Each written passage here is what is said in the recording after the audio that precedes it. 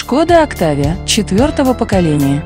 Нескончаемая череда скетчей, тизеров и шпионских фото Шкода Октавия четвертого поколения наконец осталась позади. Чешская компания представила новое поколение своего бестселлера. Несмотря на все возрастающую долю кроссоверов, прежняя Октавия даже под излет карьеры оставалась самым популярным продуктом марки. Не мудрено, что производитель попытался улучшить автомобиль по всем фронтам и интегрировать в него максимальное количество передовых фишек. Эксперимент с четырехглазой Октавией, такой она стала во время рестайлинга, официально признан неудачным. Автомобиль вернулся к обычным фарам. В целом же новое поколение оказалось похоже на старшего брата Шкода Супер.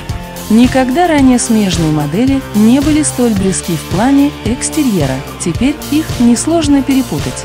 Лифтбек стал на 19 мм длиннее, 4689 мм и на 15 мм шире, 1829 мм.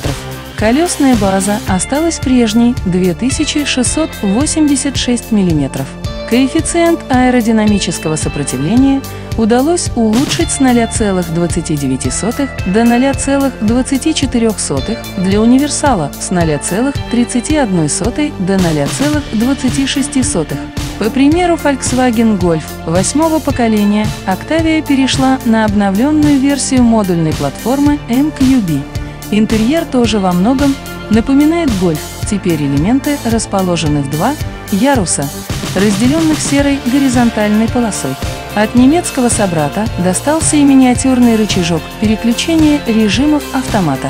А вот новый двухспицевый руль здесь свой. Уже в базовой версии предусмотрена медийная система с 8,25-дюймовым сенсорным экраном. В более дорогих комплектациях его диагональ может увеличиться до 10 дюймов. На месте приборной панель 10,25-дюймовый дисплей. Впервые в серии появился опциональный трехзонный климат-контроль. Слегка увеличился объем багажника с 590 до 600 литров у лифтбека и с 610 до 640 литров у универсала. Октавия сохранила богатый выбор силовых агрегатов. Для новинки предложат бензиновые моторы 1 и 0 TSI 110 лошадиных сил, 1,5 TSI, 150 лошадиных сил, и 2 и 0 TSI, 190 лошадиных сил.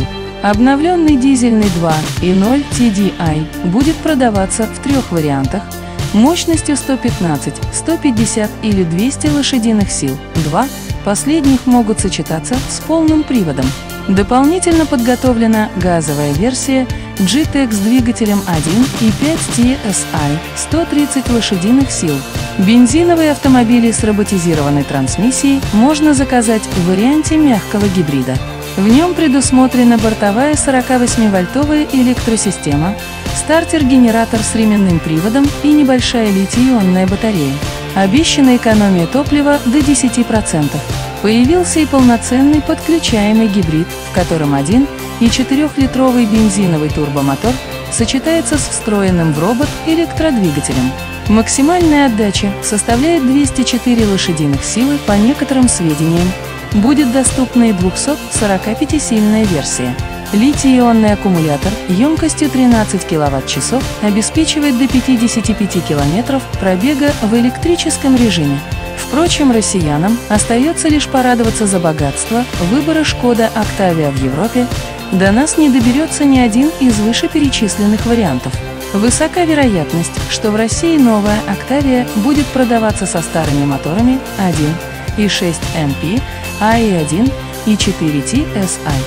Продажи автомобилей должны начаться в конце 2020 года. Задержка вызвана необходимостью запуска локализованной сборки.